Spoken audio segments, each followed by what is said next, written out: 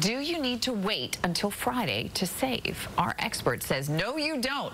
And he's back. Josh Elledge from savingsangel.com here this morning with some great ways to save before Friday. Great hey, to see you as always. Yes, We've missed you. Yes. Nice to have you.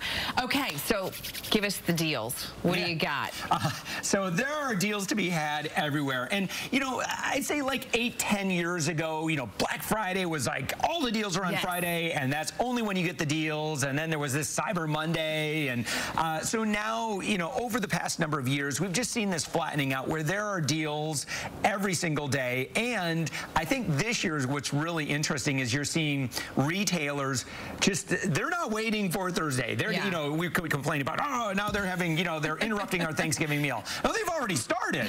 And so uh, Amazon certainly leading the charge, uh, but pretty much everybody is jumping in. Like they've got Black Friday week deals now, and they're already going on. Okay. So if you're not doing your research now and not checking out, you might be missing out on some really hot deals. Is there anything specific that you want to make sure people are looking at? Like, what are you looking at, yeah. Josh? Because you're the guy who's always looking for the good deals. So what I've noticed this week is I'm not seeing as many like clothing deals okay. and housewares and that sort of thing. I'm seeing a lot of electronics deals, okay. video game, a lot of gaming deals, uh, a lot of technology. It, there's a lot of really good deals right now. And again, uh, I think that uh, you know Amazon is has you know they kind of really those were they were the first one to really announce some really great deals on their own Amazon products. So if you want an Amazon Alexa, you want an Echo Dot, if you want a Fire TV, guess what? They're all getting you know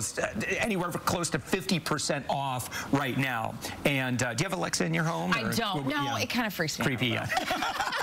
Okay, Josh, say, and you're always good with stuff like this, yeah. say, because you see people do this all the time. Yes. They're inside Target or Walmart or whatever, and then they got their phone out and they're price checking, right? Try, yes, are that's there, great. Are there sites that you really like to do that, to, to compare the prices? What do you recommend? Yeah, so I always will use, because I'm a pretty avid Amazon user, yeah. and so I love using their app so I can scan the barcode and I can see the Amazon price. Uh, Google Shopping is another one that's really, really easy to use um, that you can see, you can cross uh, search among many retailers and find out if it's really a good deal when you're in store. Okay. So my, my main piece of advice before you go to a store is that you should already know exactly what you want to buy ahead of time.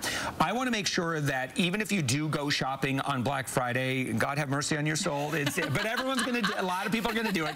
Uh, I, I, haven't done it in a long time Me because I, I, found that just shopping online, I generally can get, you know, yes. the great deals. Um, is make all of your purchasing decisions at home when you're in a rational state of mind. Right. Uh, don't get lured into the, oh my gosh, there's only, you know, three of those ugly sweaters left and they're going fast. I got to get one. Right. Like, you don't need to do yeah, that. Don't, don't no. put yourself in a no, no, no, no, no, no, no, no. Don't, Thanks, don't, don't be fooled by that. Great advice. Happy Thanksgiving yes, to you. Yes, likewise, Amy. Savingsangel.com is the website to check out. All right, JV, we're going to send it over to you now. All righty.